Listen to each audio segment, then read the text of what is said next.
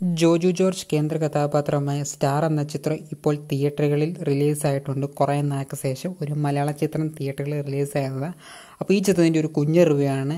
അപ്പോൾ ഈ ചിത്രം എങ്ങനെയുണ്ടെന്ന് നോക്കാം. ചാനൽ ആദ്യമായിട്ട് കാണുന്നവരാണെങ്കിൽ സബ്സ്ക്രൈബ് ചെയ്യാൻ മറക്കരുത്. അപ്പോൾ ഈ ചിത്രത്തിന്റെ പ്ലോട്ട് എന്താണെന്ന് പരിശോധിച്ച് നോക്കാം. ചിത്രത്തിനെ പറ്റി പറയുകയാണെങ്കിൽ ജോജു ജോർജും ഷിലു ഇവർ രണ്ടുപേരും പ്രണയിച്ച് വിവാഹം കഴിച്ചതും പിന്നെ ഇവരൊരു ടൂറിന് പോകുന്നതുമാണ് ചിതതിന്റെ പ്രമേയം ചിത്രത്തിന്റെ പോസിറ്റീവും നെഗറ്റീവും എന്താണെന്ന് നോക്കാം. പിന്നെ നെഗറ്റീവിനെ പറ്റി നോക്കാം.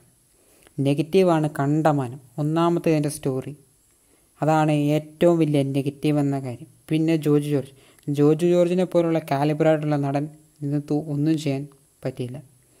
പിന്നെ ഷീലുവാണ് ഇതിനകത്ത് മൊത്തം ചെയ്തിരിക്കുന്നത്. എന്ന് പറഞ്ഞാൽ അവരുടെയാണ് ഇത് അവരാണ് ഇതിനകത്ത് ചെയ്തു വെച്ചിരിക്കുന്നത് ഫുൾ ആക്ടിങ് അവരാണ് ഇതിനകത്ത് ചെയ്തു വെച്ചിരിക്കുന്നത്.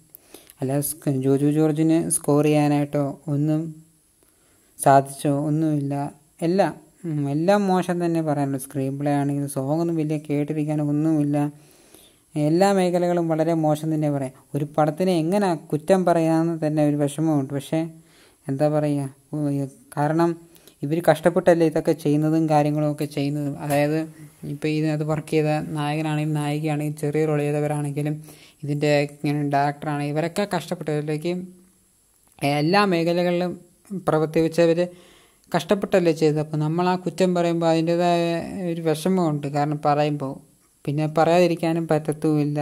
എന്താ ചെയ്യുക അപ്പോൾ വളരെ നിരാശ തന്നെയാണ് സമ്മാനിച്ചത്. ഒരു ആവറേജിന് താഴെയുള്ള ബിലോ ആവറേജ് താഴെയുള്ള അനുഭവമായിട്ട് തന്നെയാണ് എനിക്ക് തോന്നിയത്. കാരണം ഇത് സത്യം പറഞ്ഞത് ഒരു ഒ ടി ടിക്ക് ഇറക്കാവുന്ന ഒരു ചിത്രമായിരുന്നു. അല്ലെങ്കിൽ ഡയറക്റ്റ് ടി വി പ്രീമിയറായിട്ടും കാണിച്ചാലും മതിയായിരുന്നു. ഏതെങ്കിലും ഒന്ന് കാണിച്ചാലും മതിയായിരുന്നു. തിയേറ്ററിന് വേണ്ടി കൊണ്ടുവരേണ്ട ആവശ്യമില്ലായിരുന്നു. പിന്നെ എന്താ പറയുക പോസിറ്റീവായിട്ട് എനിക്ക് അങ്ങനെ ഒന്നും തോന്നിയില്ല. അതുകൊണ്ടാണ് പോസിറ്റീവിനെ പറ്റി ഒന്നും പറയാത്തത്.